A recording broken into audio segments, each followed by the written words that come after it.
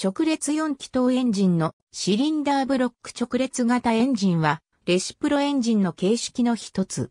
一本のクランクシャフトに対して複数のシリンダーを直列に並べたエンジンであり、実際に製造されたシリンダーの数は最低で2個、最大が14個である。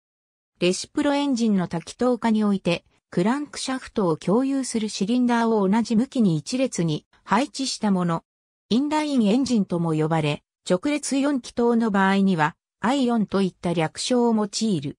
日本においては、ラインエンジンという語訳から L4 という略称や、アルファベットを用いない時期4や時期6といった略称もよく用いられる。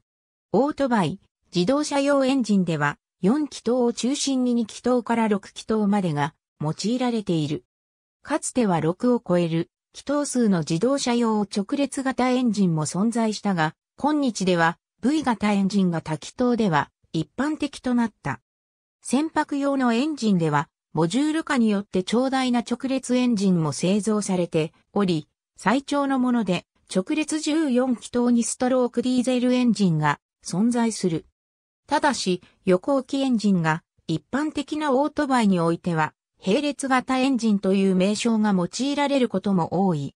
二輪業界では、クランクシャフトの配置に関係なく、車体に対してのシリンダーの配置で、直列、並列と呼び分けることが一般的なので注意が必要。これはエンジンがエンジンルームに収納されている4輪と違い、剥き出しでしかも車体に対して大きく、エンジンと車体を同時に意識するオートバイにおいて、車体進行方向に対して横にシリンダーが並んでいる印象が強いためと思われる。国内メーカーでは、川崎は現在でもカタログで並列の故障を用いている。ありがとうございます。